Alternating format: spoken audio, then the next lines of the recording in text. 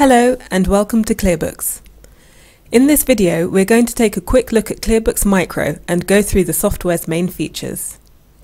The key thing for most small businesses is invoicing, so let's start with the sales invoices feature.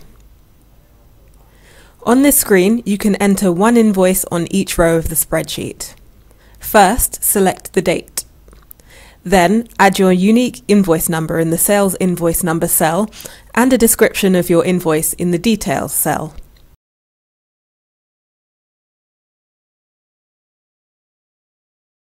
For example, this could be the customer's name or the type of goods or service you are selling.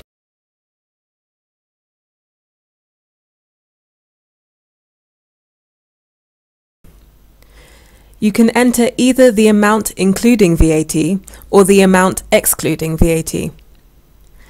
The system will calculate VAT automatically based on the VAT rate and whether you choose to enter the amount including VAT or the amount excluding VAT.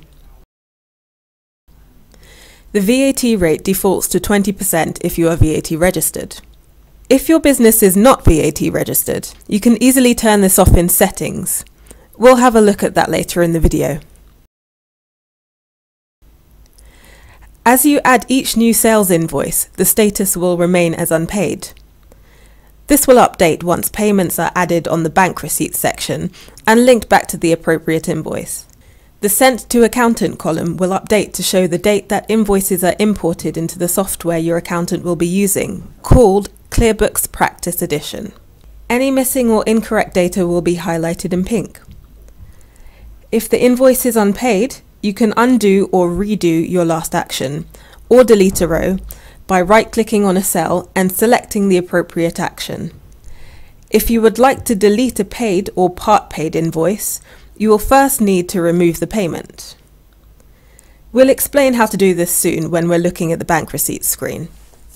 Now, let's take a look at the settings section. As we mentioned earlier, the settings menu allows you to set up your VAT registration.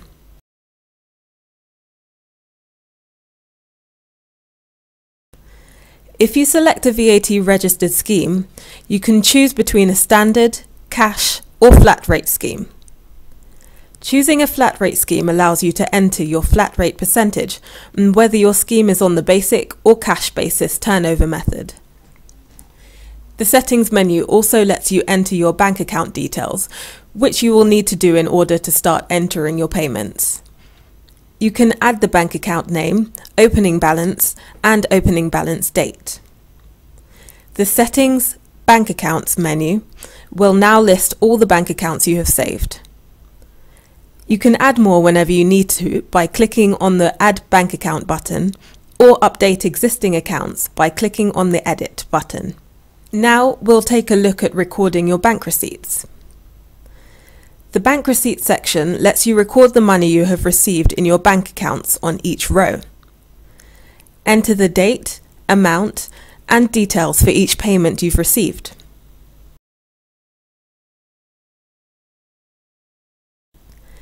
If you are explaining a receipt of money that does not come from your company's main business, then select Other Income or Interest in the Income Type drop-down list.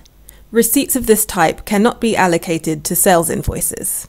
Finally, select the bank that the money was paid into.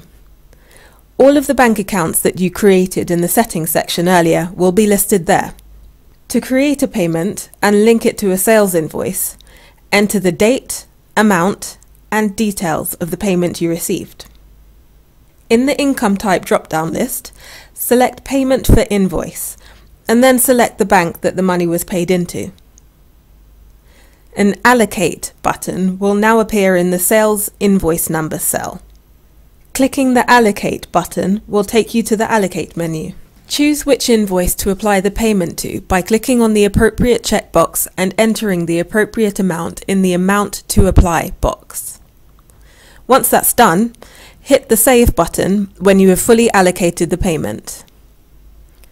When the payment has been allocated, the invoice number will replace the Allocate button under the Sales Invoice Number column. Additionally, back on the Sales Invoices section, the status will update to show which invoices are paid or part paid. It's also important to remember that invoices with the status cannot be edited. You will need to remove the payment to edit the invoice, which we will now explain.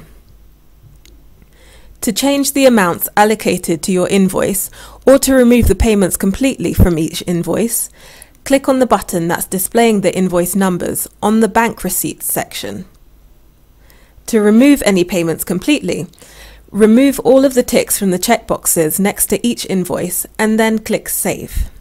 If an invoice is paid or part paid, removing the payment completely will convert the status of the invoice back to unpaid and you'll then be able to edit the invoice.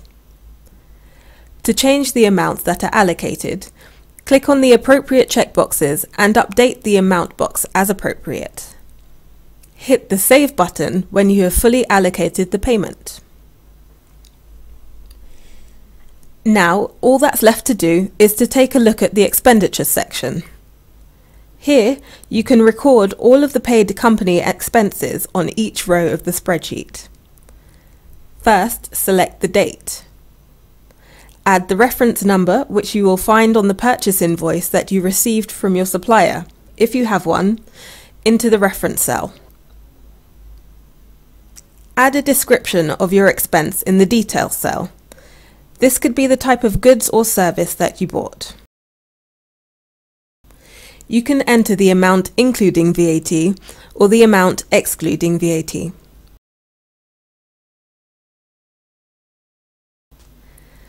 The system will calculate VAT automatically based on the VAT rate and whether you chose to enter the amount including VAT or the amount excluding VAT.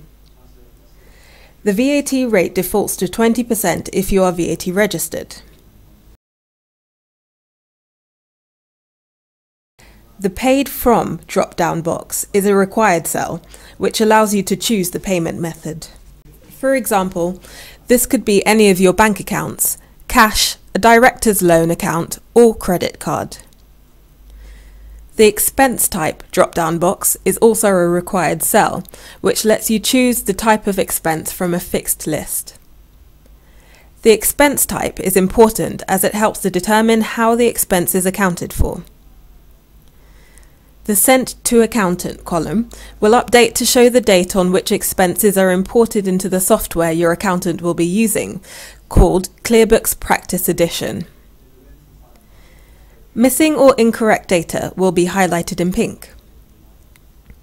Finally, you can also undo your last action or delete a row by right-clicking on a cell and selecting the action you want to perform. We've now looked through all of the main features of ClearBooks Micro, so we hope you found this video useful and that you enjoy using the software. Remember, if you have any questions about how to use ClearBooks Micro or any of ClearBooks products, our friendly UK-based support team is always happy to help. Thank you for watching.